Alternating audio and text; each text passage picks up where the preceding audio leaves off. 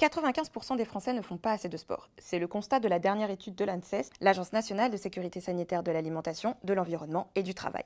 On va donc vous expliquer comment faire une activité physique suffisante.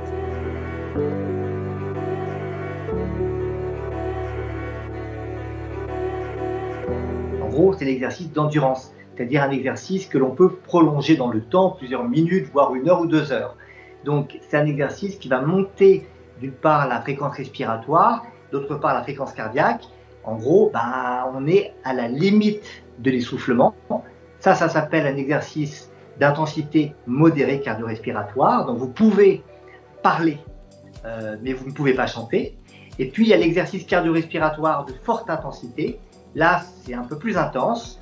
Et donc, on ne peut même plus parler. On peut faire la marche rapide, on peut trottiner, on peut faire de la course à pied, on peut aussi faire la natation, euh, la marche nordique. On a souvent entendu euh, ce chiffre magique des 10 000 pas par jour. Ce qui est vrai, c'est que faire des pas, euh, et notamment quand on utilise un tracker de pas, eh bien c'est très efficace.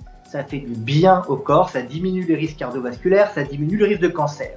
En revanche, ce qui est critiquable, c'est ce chiffre de 10 000 qui en fait vient d'une campagne publicitaire aux Jeux Olympiques de Tokyo où ils avaient dit grâce à notre podomètre, vous allez faire vos 10 000 pas. On donne souvent des conseils euh, de prendre l'escalier à la place de l'ascenseur, de sortir une station de métro avant ou du bus.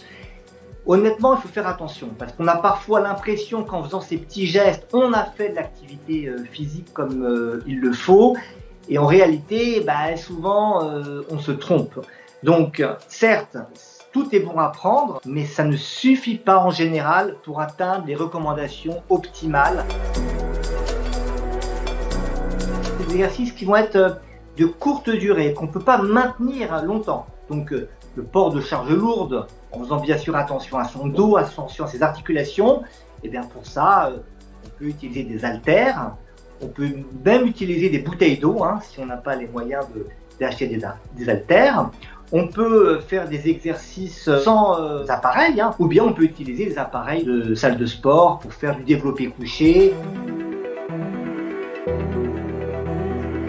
C'est en particulier important chez les personnes âgées hein, euh, qui risquent de perdre justement cette mobilité articulaire. Et là, on peut encore faire des choses assez simples, par exemple se lever euh, de sa chaise de temps en temps. On peut faire des choses plus compliquées qu'il faut apprendre avec un, un éducateur sportif ou un kiné.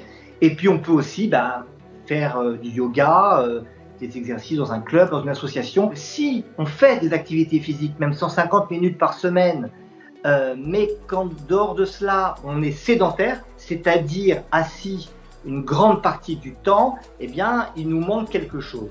Et aujourd'hui, on sait qu'avec nos modes de vie, les trajets en voiture, en transport en commun, le temps passé devant les écrans, on a tendance à être extrêmement sédentaire. Donc, il faut faire un effort.